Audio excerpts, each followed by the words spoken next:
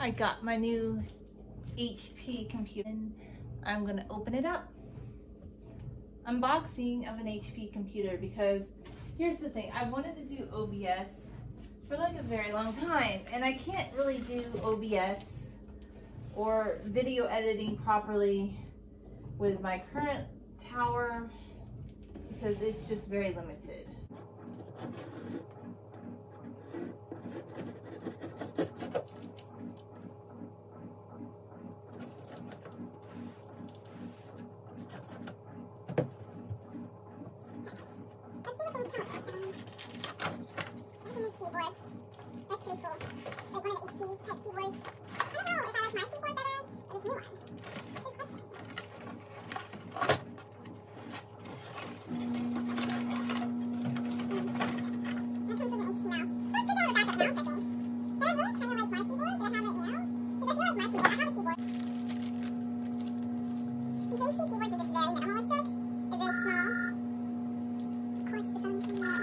because I thought that might have been somebody important, but it was just one of those spam calls and they said, hi, can I speak to April? And then I knew it was a spam call because it said spam risk on the caller ID. But I decided to have a little bit of fun with them. And I said, oh, who's April? Is she somebody with a shiny coat that wears a collar that I would walk down the street? And then the spam caller scammer guy says, thank you, good night. And he hung up on me. I have a lot of satisfaction if I deterred him from calling April to scam her. I don't know, there's so many scammers out there. Because it said spam risk. So anyway, I do feel like my current keyboard, I mean, it's kind of ergonomic, which I kind of like. I do like that it's ergonomic. However, I guess one of the benefits to the HP keyboard is that it's smaller but I kind of like my mouse because I got a new mouse a while back and it has beautiful colors. So I kind of like that mouse. So I think I'm going to keep my mouse.